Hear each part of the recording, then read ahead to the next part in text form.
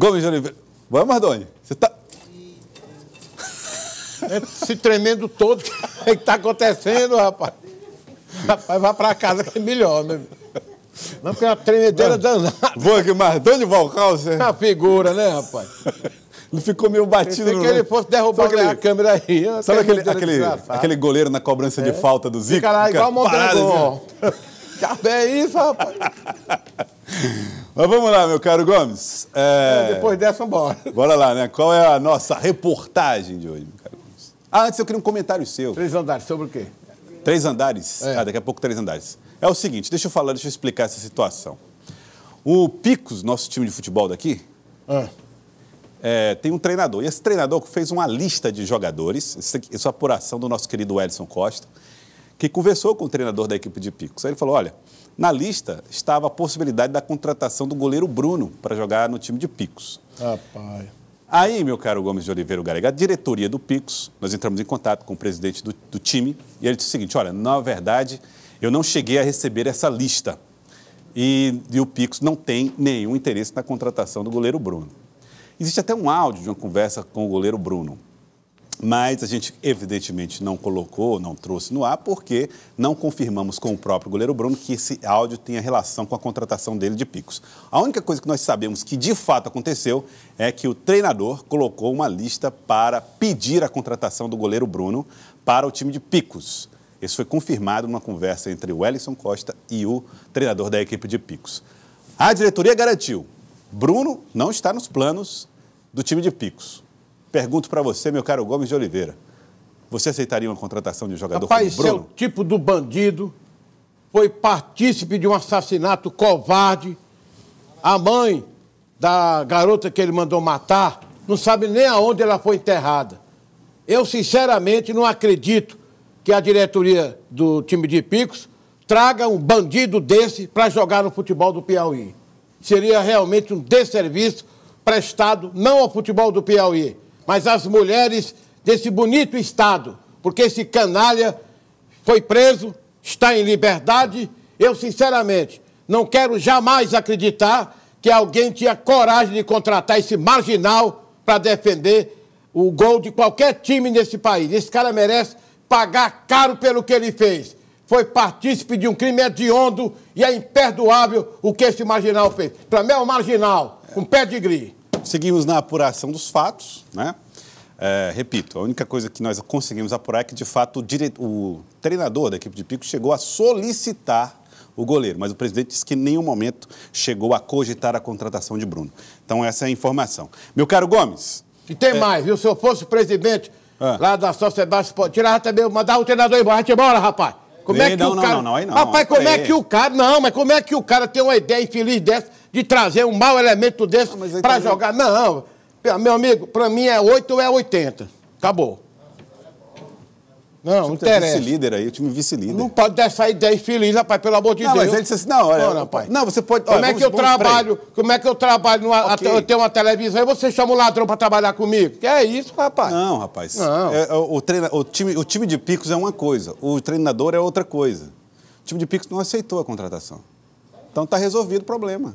Mas Dessa o treinador não deveria jamais dar essa ideia, Eu, eu, rapaz, eu amor acho, de eu, eu- eu concordo, Ah. eu concordo com uma coisa. O goleiro Bruno, campeão brasileiro pelo Flamengo, Interessa, sabe? bandido. Capitão do time na época, disputou Libertadores 2010, tinha tudo para ser, inclusive, goleiro de seleção brasileira, ídolo. Ele foi que fez a escolha de desandar e chegar no lugar onde ele chegou. Então, acho que agora, time nenhum do Brasil, nenhum torcedor do Brasil, eu, pelo menos no meu time, não quero mais.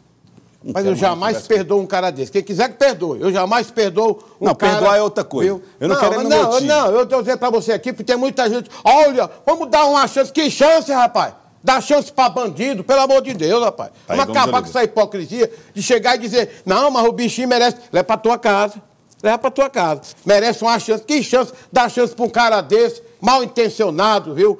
Participou do crime, mandou matar uma mulher por causa de uma pensão alimentícia, por causa do próprio filho que nasceu. É. Paciência, Terrível. cara. Foi um dos crimes mais terríveis do Pelo Brasil. amor de Deus, merece perdão não, esse caboclo. Foi um rapaz. dos crimes mais terríveis do Brasil, realmente. Joelson, o Galego foi visto. Oh, meu Deus do céu. Em lugar nenhum, que eu não saio de casa, só saio Não, ele, no ele, tá dizendo, ele tá dizendo aqui que ficou emocionado porque viu você lá. Ah, na onde? Mas viu aonde? Na rua?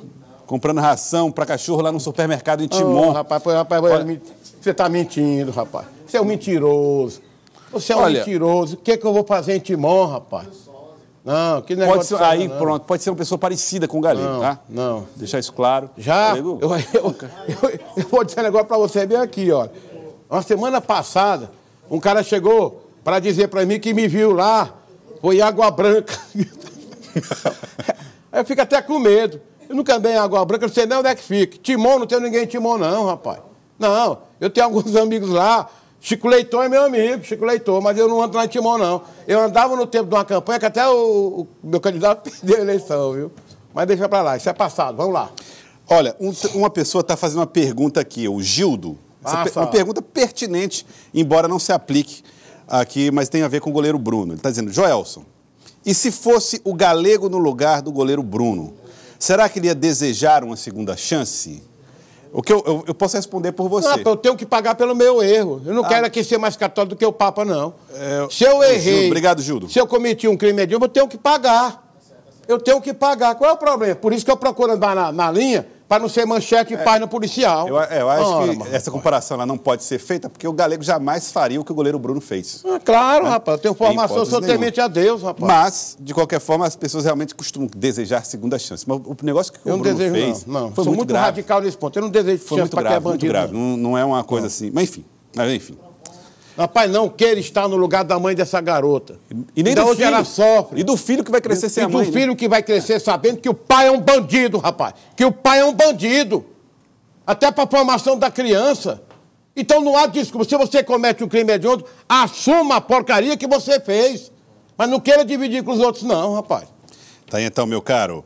Uh, boa tarde, Joelson e Galego. Concordo com o Galego. Cadê a chance da mãe do filho dele? Tá aí. É, o Davi, obrigado, viu, Davi? A Pela... mãe queria pelo menos enterrá-la com dignidade. E não sabe aonde a, a, garota foi jogada. Isso é de lascar, rapaz. Reportagem de Gomes de Oliveira. Vamos lá. Três andares, desde o que eu encontrei lá. Não, vamos lá, com entusiasmo. Meu amigo, coloque essa matéria, pelo amor de Deus. Nos três andares. Vamos lá. Não, pai. Bem, gente, eu estou hoje no bairro Três Andares, na rua Cajazeira. Aqui tem uma situação muito complicada. Tem cadeirante, eu vou já já mostrar essa senhora. Mas tem muito buraco aqui. Isso está desde quando, hein?